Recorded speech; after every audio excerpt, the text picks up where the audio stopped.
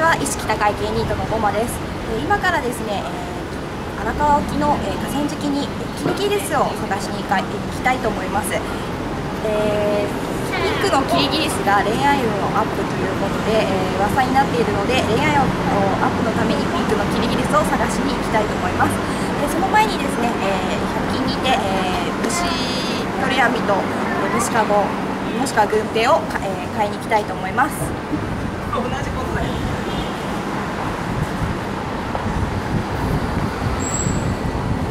めっちゃん目の前にあ本当だ。入って速攻あんねそんな虫取り網ニーズある。でも黄色一本しかない。本当だ。黄色にしよう。もうこれ君そんな虫取り網とかでやる ほど？あれかね。方がいいかもね。あでもこれ結構ちょっと持ってみないと思うんだよね。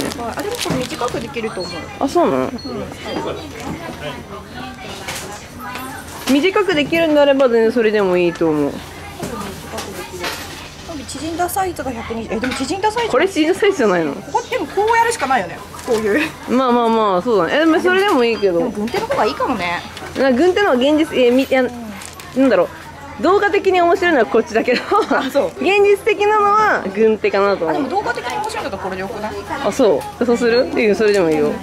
あとは君が頑張って捕まえてくれれば大丈夫です。はい虫かごはどれにします？あこれ撮ってんの？撮ってますよ。あ虫かごはまあえでも透明の方がいいか。まあ取れることを想定すると。でもさ軍いやでももしキリギリスを捕まえたとしたらあのやっぱ軍手じゃないと素手に乗せて乗せるってことまあそうだね。ええ結構あのいろんなウェブの方そんな感じでしたよ。マジかその自信はないと。自信あるうん一肌脱げないと。そういうことですかね。はい。頑張ります。